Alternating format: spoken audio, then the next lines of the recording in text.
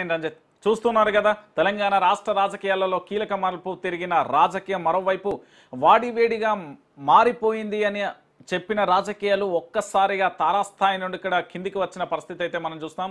ఆ ప్రస్తుతం రాష్ట్ర రాజకీయాలలో జరుగుతున్న ప్రతి అంశానికి కూడా మనం చూస్తూనే ఉన్నాం. కానీ అసలు విషయం ఏంటంటే ఇప్పటి వరకు జరిగింది ఒక లెక్క ఇప్పుడు జరగబోయేది మరో లెక్క అంటూ కూడా ప్రగతి భవన్ నుండి విశ్వసనీయ వర్గాల సమాచారం అందుతుంది. ఏంటంట అంటే పూర్తి స్థాయిలో కూడా దానికి సంబంధించి ఏంటి? ఇప్పటి వరకు గెలిచింది ఎవరు ఓడింది ఎవరు నిజంగా మునుగోడులో ఆ టీఆర్ఎస్ పార్టీ గెలిచిందా లేకపోతే ఎమ్మెల్యేలు గెలిపించారా అనేది కూడా ఆ ప్రధాన అంశంగా కూడా మారిపోతున్న పరిస్థితి అయితే చూస్తున్నాం. ఇప్పటి వరకు జరిగిన ప్రతి అంశానికి సంబంధించి ఇప్పటి వరకు జరిగిన ప్రతి అంశంలో భాగంగా ఎక్కడ చూసినా టీఆర్ఎస్ గెలిచింది టీఆర్ఎస్ గెలిచింది అంటున్నారు. కానీ అక్కడ కేసీఆర్ గెలిచారా? లేదా టీఆర్ఎస్ పార్టీ గెలిచిందా? లేకపోతే కార్యకర్తలు గెలిపించారా అనే అంశానికి సంబంధించి కూడా ఆ ప్రధానంగా కూడా చర్చనీయ అంశంగా మారిపోయింది. కానీ ఆ టీఆర్ఎస్ పార్టీకి సంబంధించి ప్రధానంగా ఏ కోణంలో గెలిచింది ఏ విధంగా గెలిచింది అక్కడ గెలిచింది ఎవరు ఏంటి అనే విషయాన్ని కూడా మనం చర్చించే ప్రయత్నం అయితే చేద్దాం. వాస్తవ విషయాల్లోకి వెళ్తే టీఆర్ఎస్ పార్టీకి సంబంధించి ఇప్పటి వరకు ప్రతి అంటే రాష్ట్ర ఉన్న ఎమ్మెల్యేలు అందరూ కూడా నియోజకవర్గానికి వదిలేసి ఇక్కడికి వచ్చి మరీ ఎన్నికలలో ప్రతి అంటే అభ్యర్థికి సంబంధించి ప్రచారం చేసిన పరిస్థితి అయితే చూస్తాం. వేల కోట్ల లక్షల కోట్ల ఎంత జరిగింది ఏం కథ అనే విషయాన్ని మనం పక్కన పెడితే రాష్ట్ర రాజకీయాలలో కానీ కీలక అంశంగా మారింది మాత్రం ఒక మునుగోడు ఎన్నికనే అని చెప్పొచ్చు. దానిలో భాగంగా ఇప్పటివరకు జరుగుతున్న పరిస్థితులలో చూసాం చాలా అంశాలు కూడా. ఏం జరిగింది ఏం కథ అనే అంశాన్ని కూడా మనం చూసే ప్రయత్నం అయితే చేస్తున్నాం. దాంట్లో ఎక్కువ శాతం కూడా ఏం జరుగుతుంది అనేది చాలామంది ఆ ఫోకస్ పెట్టిన పరిస్థితి అయితే కనబడుతుంది. అయితే మొత్తానికి మునుగోడు నియోజకవర్గంలో జరిగిన తాజా పరిస్థితులలో చాలా అంశాలు ఉన్నాయి. దాంట్లో ఒక పది అంశాలను మనం చూసుకుందాం. మునుగోడు నియోజకవర్గంలో కేసీఆర్ గెలిచారా? లేకపోతే టీఆర్ఎస్ పార్టీ గెలిచిందా అనే అంశాన్ని కూడా చర్చించ చర్చలోకి తీసుకుందాం. నిజంగా మునుగోడు నియోజకవర్గంలో గెలిచింది మాత్రం ఓటర్లే అని నేను చెప్పవచ్చు. ఎందుకంటే ఆ ఓటర్లకు సంబంధించి ఒక ఓటుకు సంబంధించి ఈ స్థాయిలో కూడా ప్రచారానికి సంబంధించి చేయాల్సి వచ్చిందనే అనే అంశానికి సంబంధించి కూడా చూడొద్దు. చూడొచ్చు. ఎందుకంటే రాష్ట్ర రాజకీయాలలో కీలకంగా మారిన ఆ టీఆర్ఎస్ పార్టీకి సంబంధించి మునుగోడు ఎన్నిక ఓడిపోతే బీఆర్ఎస్ పార్టీకి సంబంధించి భవిష్యత్తులో పునాది రాయి పోయినట్టే కానీ ఖచ్చితంగా ఇక్కడ గెలవాలి అనే ఒక పట్టుదలతోని తెలంగాణ రాష్ట్ర వ్యాప్తంగా ఉన్న అన్ని నియోజకవర్గాల నుంచి దాదాపుగా అన్ని నియోజకవర్గాల నుంచి ఎమ్మెల్యేలను మంత్రులను దాంతోపాటుగా ఆ ప్రజాప్రతినిధులందరినీ కూడా అక్కడికి దించి దాదాపుగా రెండు నెలల ప్రచారం హోరాహోరీగానైతే కొనసాగింది. దాంట్లో భాగంగా ఆ టీఆర్ఎస్ పార్టీకి సంబంధించిన అభ్యర్థి కుస్కుంట్ల ప్రభాకర్ రెడ్డిని గెలిపించేందుకు అహోరాత్రులు అంటే పగలు రాత్రి తేడా లేకుండా కుటుంబాన్ని దాంతోపాటుగా వాళ్ళ నియోజకవర్గాన్ని వదిలేసి మరీ వచ్చి కూడా ప్రచారం చేశారు. కొంతమంది ఏకంగా ఎమ్మెల్యేలు తమ కుటుంబంతో కూడా ప్రచారం చేసిన పరిస్థితులు అయితే మునుగోడు నియోజకవర్గంలో కళ్ళకు కట్టినట్టుగా కనిపించాయి. కానీ మునుగోడు ప్రజలు మాత్రం చాలా తెలివి వారు చాలా మేధవ మేధావులు అనే చెప్పొచ్చు. దాంట్లో ఎలాంటి నిర్మోహమాటం కూడా లేదు. ఎందుకు ఈ అంశాన్ని కూడా నేను తెర మీదకి తీసుకొస్తున్నా అంటే మునుగోడు నియోజకవర్గానికి జరిగిన పరిస్థితులలో చాలా అంశాలు. ఇప్పుడు ఏకంగా కూడా ఏ నాకు తెలిసి రెండు వేల పద్నాలుగు నుంచి ఇప్పటి వరకు జరిగిన ఏ ఎన్నికలలో కూడా ఒక ముఖ్యమంత్రి గ్రామానికి ఇన్ఛార్జిగా ఉన్న దాఖలాలు అయితే కనిపించలేదు.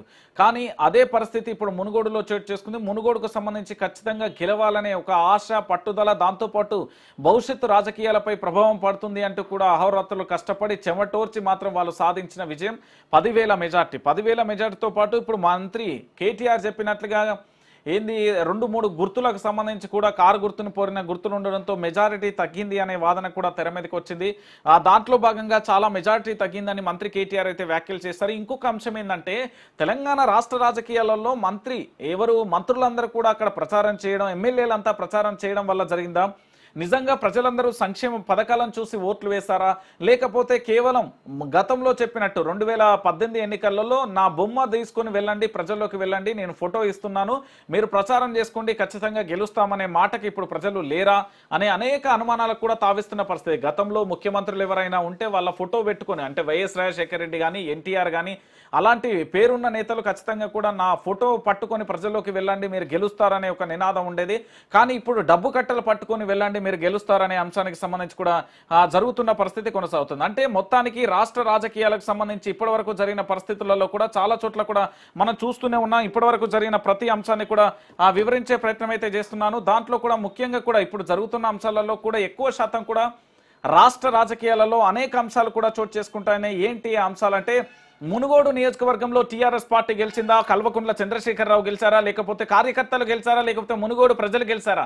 ఏంటి అనే దానికి సమాధానం ఎక్కడా కూడా దొరకట్లేదు. ఎందుకంటే సంక్షేమ పథకాలు గెలిపించాయంటే ఏ ఎమ్మెల్యే కూడా అక్కడికి ప్రచారానికి వెళ్ళాల్సిన అవసరం లేదు. ప్రజలు నమ్మారు ప్రజలు కేసీఆర్ను నమ్మారు కేసీఆర్ ఫోటోను నమ్మారు అంటే అక్కడికి ఏంది టీఆర్ఎస్కు సంబంధించిన ఏ అభ్యర్థి అభ్యర్థితో ఉంటే సరిపోతుంది. లేదు నిజంగా టీఆర్ఎస్ పార్టీకి సంబంధించిన కార్యకర్తల విశేష కృషి వల్లనే టీఆర్ఎస్ గెలిచిందంటే అక్కడికి వెళ్ళాల్సిన అవసరమే లేదు. కానీ ప్రగతి భవన్లో ముచ్చట ఏంటంటే బరాబర్ భవిష్యత్ రాజకీయాలపైన ఆసక్తి ఉన్న ప్రజలలో చైతన్యం రావడం సోషల్ మీడియా మాధ్యమాలు కూడా ప్రజల్లోకి రావడం అనేక రకాలుగా కూడా జరుగుతున్న పరిస్థితులను అయితే మనం చూస్తున్నాం. కానీ జరుగుతున్న పరిణామం ఒకటి జరగబోయేది మరొకటి అనే విధంగా జరుగుతుంది. రాష్ట్ర రాజకీయాల్లో ఆ కీలక మలుపుగా చోటు చేసుకున్న మునుగోడు ఎన్నికకు సంబంధించి అనేక అంశాలు కూడా చోటు చేసుకుంటున్న పరిస్థితి అయితే చూసాం.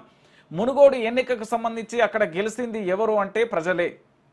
ఎందుకు ప్రజలు గెలిచారంటే ప్రగతి భవన్ నుండి ముఖ్యమంత్రి ఇన్ఛార్జ్గా వచ్చారు అన్ని నియోజకవర్గాల ఎమ్మెల్యేలు వచ్చారు రాష్ట్రానికి సంబంధించిన మంత్రులు వచ్చారు.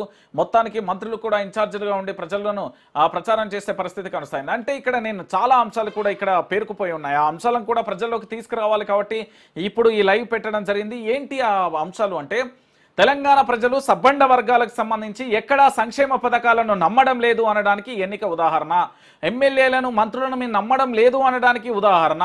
దాంతోపాటు కేసీఆర్ ఫోటో పెట్టుకొని ప్రజల్లోకి వెళ్తే గెలుస్తాడు అనేది ఉదాహరణ. దాంతోపాటు భవిష్యత్ రాజకీయాల్లో ఏ అంశమైన సోషల్ మీడియాలో చెక్కలు కొడుతుంది అనేది ఉదాహరణ.